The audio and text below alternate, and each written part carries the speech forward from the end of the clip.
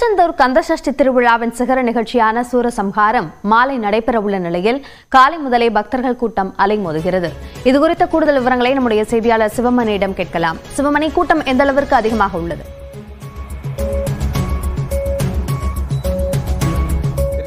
அருள்மிகு சுப்பிரமணிய சுவாமி திருக்கோவில கந்தசஷ்டி திருவிழா அப்படிங்கிறது மிக சிறப்பு வாய்ந்ததாக பார்க்கப்படுகிறது. சு- சூரனை முருகன் இங்கே வதம் செய்ததாக போற்றப்படக்கூடிய இந்த பகுதி அப்படிங்கிறதுனால இந்த பகுதியில் தமிழகம் எங்குமிலிருந்து ஏராளமான பக்தர்கள் லட்சக்கணக்கான பக்தர்கள் இப்போதே வந்திருக்கிறார்கள். தமிழகம் மட்டுமல்லாது நாட்டினுடைய பிற மாநிலங்கள் வெளிநாடுகளில் இருந்து பக்தர்கள் வந்திருக்கிறார்கள்.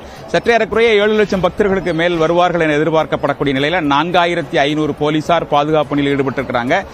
தென்மண்டல ஐஜி திருநெல்வேலி சரக டிஐஜி உள்ளிட்ட உள்ளிட்ட உயர் அதிகாரிகள் முன்னிலையில் ஏராளமான போலீசார் பாதுகாப்பு பணியில் ஈடுபட்டிருக்கிறாங்க.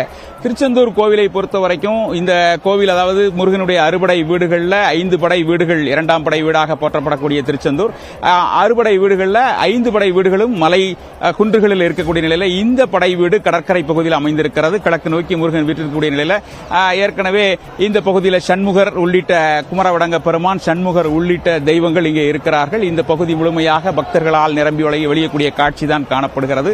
காவல்துறையை பொறுத்தவரை இரண்டு தற்காலிக இருபது தற்காலிக பேருந்து நிலையங்கள் அமைத்து பாதுகாப்பு பணியில் ஈடுபட்டிருக்கிறாங்க. இருநூற்றி ஐம்பது சிசிடிவி கேமராக்கள் அமைக்கப்பட்டு பாதுகாப்பு பணி அப்படிங்கிறது தொடர்ந்து நடைபெற்று வருகிறது.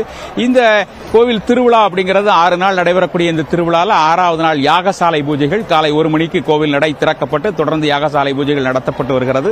நான்கு மணிக்காக சுவாமி கோவிலுக்கு வெளியே இருக்கக்கூடிய கந்தசஷ்டி மண்டபத்தில் எழுந்தருளுகிறார். அதனைத் தொடர்ந்து நான்கு முப்பது மணிக்கு கோவில் கடற்கரை கடற்கரையில் சூரனை முருகன் வதம் செய்ய ஜெயந்திநாதர் வடிவில் வதம் செய்யக்கூடிய நிகழ்வு அப்படிங்கிறது நடைபெறுகிறது. இதனை நேரடியாக நியூஸ் எயிட்டின் தமிழ்நாடு தொலைக்காட்சி நேரடியாக நான்கு மணி முதல் தொடர்ந்து நேரடியான வர்ணனையை துவங்க இருக்கிறது. கடற்கரை முழுவதுமாக பக்தர்களின் தலைகளாக இப்போதே காட்சியளிக்கக்கூடிய அந்த காட்சிகளை நம்ம பார்க்க முடியும். கோவில் முழுமையாக பக்தர்களால் நிரம்பி வழிகிறது. தொடர்ந்து பக்தர்களின் கூட்டம் தொடர்ந்து அதிகரிக்கும் என எதிர்பார்க்கப்படுகிறது. ஏழு லட்சம் பக்தர்களுக்கு மேல் வருவார்கள் என்ற நிலையில பாதுகாப்பு பணியில் விரிவான பாதுகாப்பு ஏற்பாடுகள் செய்யப்பட்டிருக்கிறது. அந்த திருத்தன் திருச்செந்தூர் கடற்கரை முழுவதுமாக மனித தலைகளாக காட்சியளிப்பதை பார்க்க முடிகிறது. விரிவான கள விவரங்களுக்கு நன்றி சிவமணி.